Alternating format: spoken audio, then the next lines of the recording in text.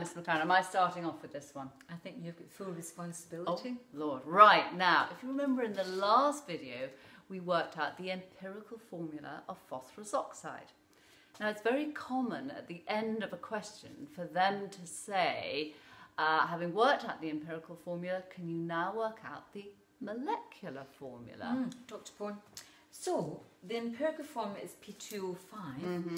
but is the empirical formula not the same as molecular formula? Ah, no. Now, if you were looking in the previous videos, as I'm sure you were, Miss McLaren, because you were in them, you'll remember that there is a difference, and the molecular formula could be the same as the empirical formula, or it is a whole number multiple, and you have to work out what that number is. All right, okay, and the information that we need in Mhm. order to do this is the second piece of information, which is the MR of phosphorus oxide. Exactly. So this gives you the mass of the actual molecule, which in this case is 284.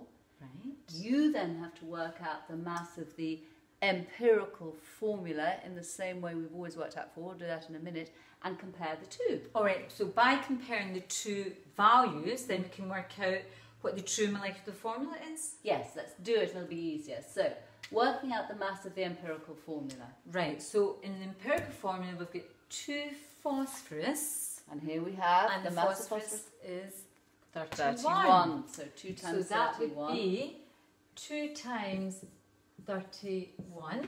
Okay, and you've got five oxygens. So oxygen is 16. So 5 times 16. So 16. that's 5 times 16.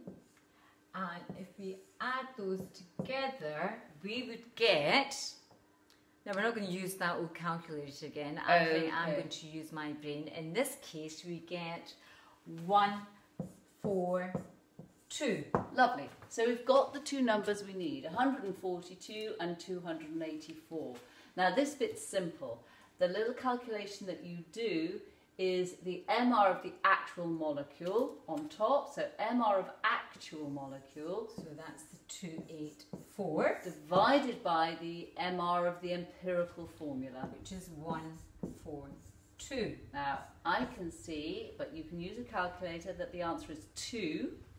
Excellent. So that means that the actual molecule is twice the empirical formula.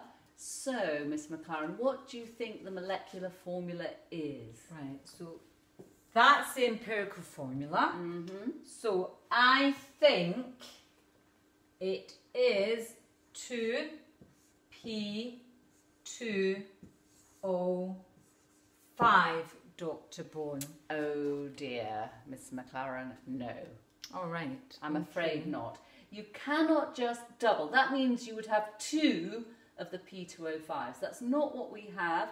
You take that two off there, but everything here must be doubled. So have another go.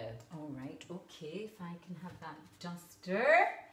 So that means you multiply everything by 2. So that would be uh, P2, which means it'd be P4.